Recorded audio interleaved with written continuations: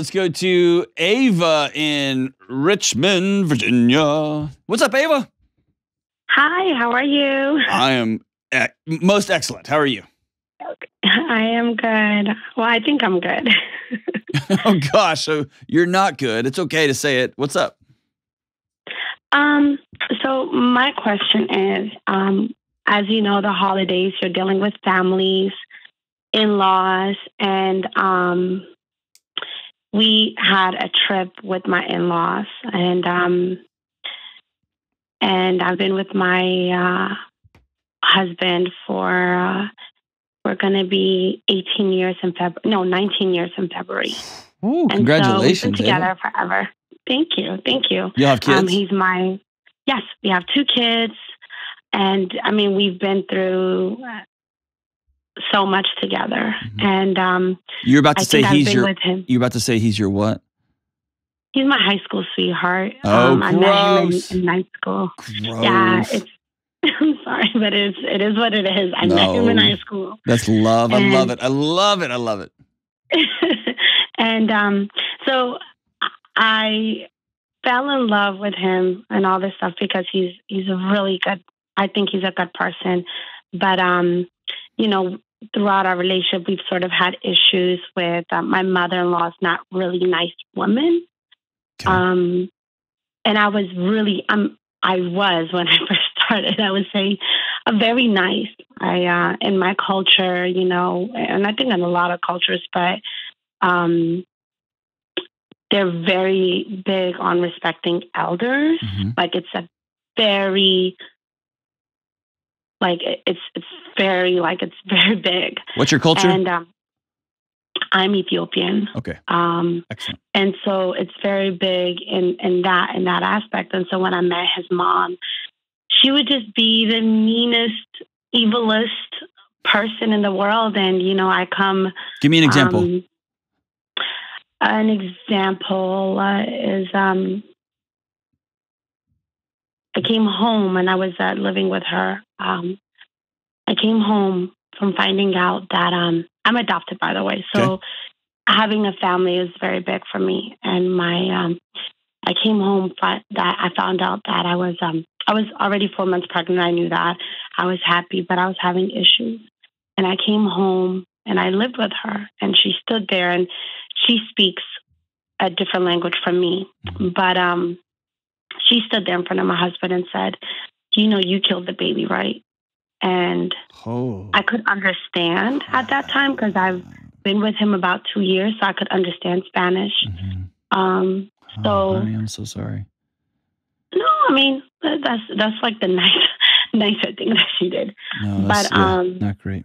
I, it would be times where I was fluctuating with my weight and depression and you know um of uh and and all these things and so um she would just say like oh you're too fat for my son or she would say like um just a lot of mean things just and my husband saw it like he it Where where like is didn't- he in all this?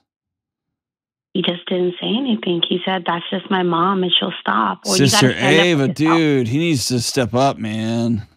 Oh, so he's definitely, you know, he's um A coward. He was the yeah. yeah. Yeah, so No, dude, he's, like he a- fir- he's a coward, he's man. the first boy. He's the first boy. She's um hey, listen, I could had- care less. I'm the first boy in my house.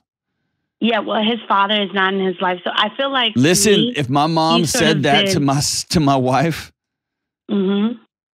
it would. I mean, But I wasn't his wife at that time. So it maybe doesn't. he You thought I were, was you were about to be the mom of his baby, Yeah, but he allowed it. That's, and, and, And- he's continued to allow it. Hmm? And he's continued to allow it. Oh yeah, but you know, over time, I sort of what he wanted is for me to stand up to her, and so that was a little bit. No, that's his job. it's his mom. I know. So that was a little bit. Um, that was the most difficult because in my culture, you're not even supposed to like come to an a, like someone that's older than you in that aspect, and so I continue to sort of put But- my head But down. hold on, hold on. and, hold on. There's a cultural aspect, 100%. You you honor you honor um, elders to the end of time. You go down, Yeah. you go down to the bottom of the ocean on that ship. I get that. Yeah. There's also something you're not admitting to yourself, and that is your husband is leaving you out to dry. And Oh, yeah, I, would t- I would tell him that if he was on the phone. I wish he was on the phone because I, I don't like talking Oh, about people in the other here. room. But he's in the other room. I can get him for you. he's but um, he yeah. has got to say, "Mom, we are not coming to your house anymore because of how you talk to my wife, the mother of my children." Period. Yeah. Conversation ends. Yeah, I wish that was that because um, it just kept rolling and more things happen and then we'd get over it. I wouldn't talk to her, and I would stand up for myself. And he's like, "Good job, you're standing up for yourself." And and you know me, like I said, I, I'm adopted. I I was in so many years of my life where I was not protected by anyone, and I didn't need anyone to protect me, but. I felt sort of. Yes, you um, did. We all do. We all do. I do. I we all do. We all do. We all do. And you still yeah, do. we do. I still do, but um, Okay, so, so- what? hap- So what happened? Did you have a big blow up? Did you go to war? so m- my mother-in-law, we wanted her to be with us because me and my husband, we when we traveled, we're like, hey, we have an extra room. You can stay in that room. You have your own bed, your kitchen, everything. Awesome. And she was fine. And then, like when her other kids start coming, she sort of like tends to take things out on me. Mhm. because I'm easy to take out on. You know, I'm not related to her. So it's easy to be mean to me. And so she would just say certain things like, oh, you know, like I love to cook. I love to, like, I just, you know, I want to, I'm very, um, I think one of the things my husband maybe doesn't like about me is that I'm very, I think about others a little too much and maybe I don't think about myself. Um, but I, I was like, you know, That's probably because he loves you and cares about you and watches you, you know, drive yourself Yeah. into the ground trying to be a peacekeeper, right? All right, go- Yeah, go, to it. Go to it. Go to it. We're getting up against the clock. So- go to it. So okay. So what happened is um, we had a big blow up. Um, whenever I said something and I um, I disrespected my husband in front of her. What'd you say? Um, and then I said, I said, it's really bad. I said, I'm the unlucky dumbass being with you. And um, that sounds like Kelly says that to me all the time. Well, his mother said something in regards of I didn't want to curse, but um, I always did. But she sort of said, um, you know, you're. She said, I don't want this B I T C H to talk about my son or treat my son like this. Now, mind you, I, I take, I think me personally, out of anyone that they know, they know my husband, their their brother, their son is treated better than their own husband. They know that. Like right, I, I believe right, everyone in the family knows he is taking care of But a thi- thi- this is somebody who is yes. Was what you said mean? Yes, fine. That's somebody who is looking for any tiny, tiny little crack. yes, yes, To just Yes. blow right through it to knock the whole building down. yes. So she, so so the whole thing is that Like I would say so this: if my wife said that day- about me in front of my Uh-huh. my dad, my mom, uh-huh, they would laugh Uh-huh. and they would say, "Yep, her. okay." I just want I want to give you some other context. And my parents are. Yeah. great people. My parents love me dearly, but they also trust my wife implicitly, Yeah, like a daughter, um, not like some weird like tumor that's been added onto our family. Okay, so that's how she treats me. how can I how can I help?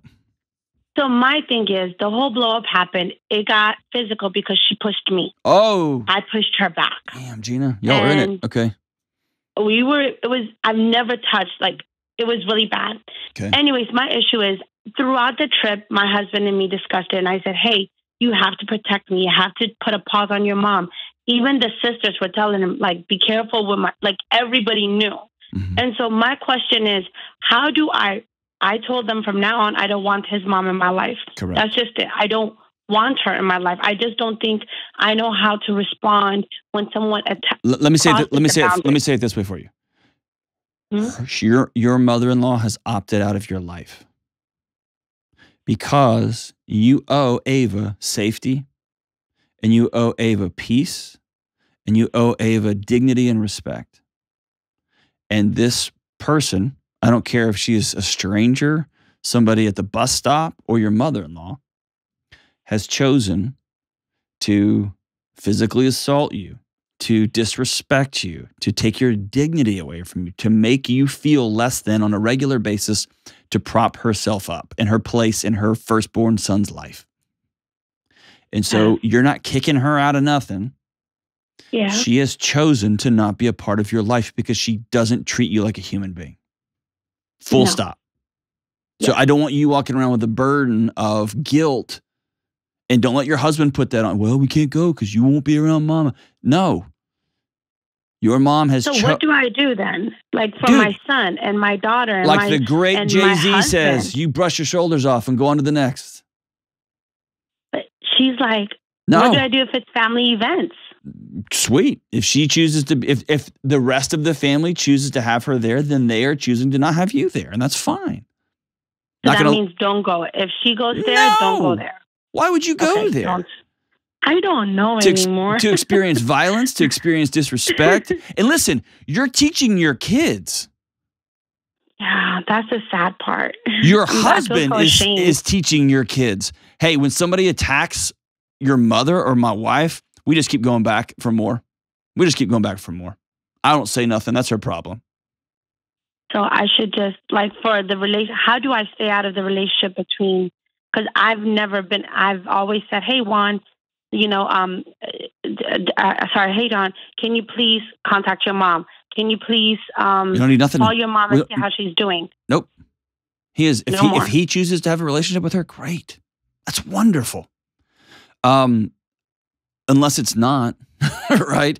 I mean, if he forgets her birthday, that's a choice he's made. You're not his mommy. Yeah. So stop, stop pushing back. That's I, yeah, I mean, here ultimately it's a it's a non-confrontational. I'm not fighting anybody. Okay. I'm going to tell my husband. I'm going to tell my wife. Yeah. Hey, I just want. I, I'm. I am. I am drawing boundaries. You have told me that this is my fight for my whole life. You've never stepped up to help me out. So I've. I'm choosing how I'm ending this fight. I will not Okay. go to events if if with with your mother there. She is she is chosen to um not be around me, and so she's not going to be around my kids. I Okay. can't tell you what to do. You're a grown man. If you want to go to family get-togethers and whatever, you're welcome to do that. My kids, um, I don't feel safe with them there. So I can say it's it's not crossing the line by saying I feel like I'm hurting someone. You know, I don't I don't want to hurt anyone. I just This is a know, little I- girl who's still wondering why her mom and dad sent her away. yeah. Yeah. Ava, you are mm. loved.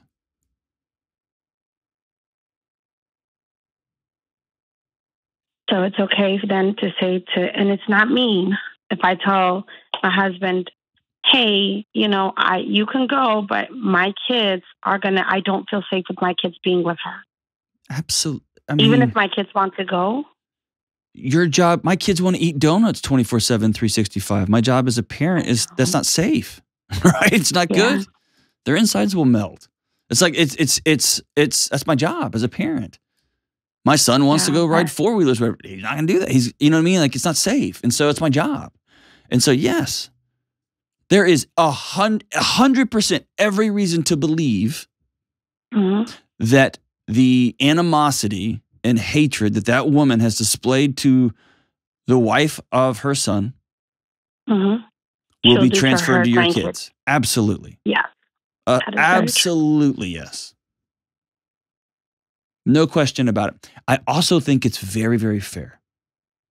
And it might not be Okay. the season, but it is very fair Okay. to tell your husband that you are heartbroken that he never stood up for you. Yeah. Heartbroken.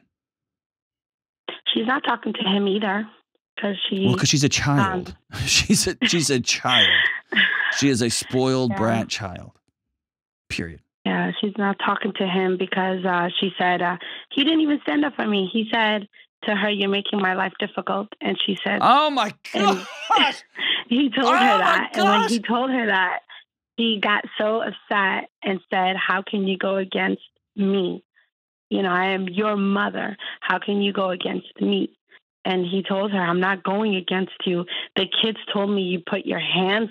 on my wife and then and then also hurt the little there was a little girl involved that she hurt and so i was defending and so even to yesterday i asked i said are you upset at me you know because we're having huge issues now and Yeah. he's like no i'm not i'm not upset at you because you defended yourself from my mother i knew my mother was going to do that to you i i knew and i walked away knowing that and to me i guess with that That breaks my heart. That breaks my heart for him, man. yeah, I wish he just sort of, I wish Yeah. he could just say to me, like, I'm wrong. Like, all I want from my husband is just to say, I have not defended you Yeah. all this time and protected you as what it should have been my duty. I Have you said hey, like have you said that to him? Because it's in there now. You've not said that out loud before, have you? I said it to him so many times Okay. and it has been deaf ears. And so maybe, Cool. He's I left you he's left you to defend yourself. Great. I'm not going anymore. yeah, And I want you to um this is going to be something that you practice, but I want you to say that with peace in your heart. I want you to say that with joy and optimism. Me and the kids, we're going to a water park. We're going to stay in a hotel and we're going to have pizza and movies and just be ridiculous for 48 hours. That's what we're going to do. You are, I would love, love, love for you to join us. But if you want to go there, that's great. Okay. It's disgusting and disrespectful for a in-law to put themselves between their child and their child's spouse. Yeah. It's it's the it's one of the lowest forms of immaturity because that should be a relationship that parents should be championing and cheering for and lifting up. So Yeah. glad that you of all people picked my son and I wouldn't have picked you for him. I think you're weird. I think you're not the right culture. I think you're not the right Yeah. whatever religion what but my son picked you and I raised a good guy. I trust him. And so he picked you. We pick you. We're all in. That's how Yeah. that should be. And it should be every single thing I can do to lift you guys up, Yeah. not everything I can do to get between you two. I, you need to remember, I'm the mom here. No, dude. No, it's wrong. It's Yeah. wrong. It's wrong, Ava. And you're not the crazy one. For two decades, you have not been the crazy one. can, can, is it is it um is it bad or is it wrong that I throughout this whole time, you know, I I thought about her. Like I actually thought about like how is she doing No, you're a whenever she compassionate. left the hotel. Like St- listen, I listen, listen. so sad for her. Stop thinking that your feelings are bad or wrong. They just are. Yeah. Yeah. Okay.